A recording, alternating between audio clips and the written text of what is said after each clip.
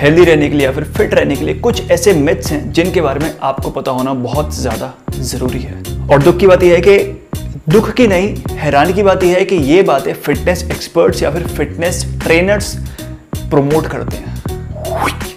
Six meals a day एक दिन में छह बार खाना खाना। अगर आप दिन में छह बार खाना खाते हैं या फिर आप पूरा दिन खाना ही खाते रहते हैं तो आपकी बॉडी सिर्फ़ पूरा दिन खाना डाइजेस्ट ही करती रह जाएगी। आपकी बॉडी को रेस्ट ही मिलेगा, आपके स्टोमक को रेस्ट ही नहीं मिलेगा। और ना ही आपको पूरे दिन में कभी तेज भूख लगेगी, जो कि लगनी चाहिए।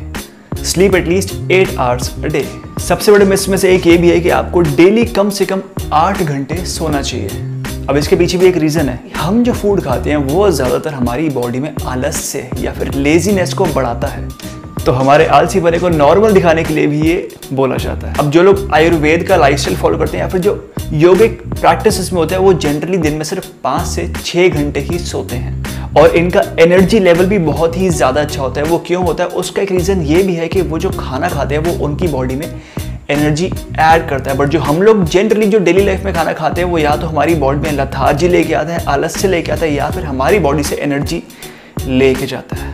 हैवी ब्रेकफास्ट अब हैवी ब्रेकफास्ट करना टेक्निकली कुछ हद तक सही है। अगर आप सुबह उठते ही हैवी ब्रेकफास्ट करते हैं तो वो गलत है। हमारी बॉडी पूरी रात रेस्ट करती है तो जब हम सुबह उठते हैं तो हमें पहले अपनी बॉडी को ठीक से एक्टिवेट करना चाहिए। वो हम कैसे कर सकते हैं? वो हम सुबह उठ के गर्म पानी पी के कर सकते हैं, वो हम सुबह उठ के वेजिटेबल जूस पी के कर सकते हैं। उसके बाद कुछ गैप दे के हम हैवी ब्रेकफास्ट कर सकते हैं। One cheat meal a week लोग पूरा दिन इस चीज़ के लिए वेट करते हैं मतलब कि वो वेट करते हैं कि उनका चीट मील का डे कब आएगा तो वही उनके दिमाग में सारा टाइम चलता रहता है। अब ऐसा बिल्कुल भी नहीं है कि आप कुछ जंक फ़ूड नहीं खा सकते, आप कुछ अनहेल्दी नहीं खा सकते, आप बिल्कुल खा सकते हैं बट आप उस चीज़ को अपने दिमाग में इतनी जगह मत दो कि वो पूरा दिन, पूरे हफ़्ते आपके दिमाग में चलता रहे कि संडे कब आएगा या मंडे कब आएगा, जब मैं कुछ गंद ठूसूँ। Just complete your daily calorie intake timing doesn't matter मतलब कि जो आपका डेली का कैलोरी का इनटेक होना चाहिए, आप बस वो पूरा कीजिए। टाइमिंग आप किस टाइम खा रहे कितना खा रहे वो मैटर नहीं करता। शायद सबसे ज़्यादा वाहियात एडवाइस यही होगी। देखिए, एक इंसान की 2000 कैलोरीज की डेली की डाइट है और उसमें कार्ब्स की प्रोटीन्स की फैट्स की एक अपनी रेशो है। तो वो इंसान अब सोने जा रहा है और उसने अभी भी पूरे दिन में 1300 से लेके 1500 कैलोरीज कम खाना खाया है। तो क्या उसको सोने से पहले ये कैलोरीज खानी चाहिए? वो खा सकता है, पर सिर्फ़ अगर उसे भूख है तो। और वो भी उसे ये नहीं करना कि उसको जो उसकी 1300 कैलोरीज रिमेनिंग है या 1500 कैलोरीज रिमेनिंग है, उसको वो सारी खानी है। शायद उसका 600 कैलोरीज खा के पेट भर जाए। आपकी बॉडी को स्टोरेज रूम नहीं है कि उसमें जितना मर्ज़ी भर दो।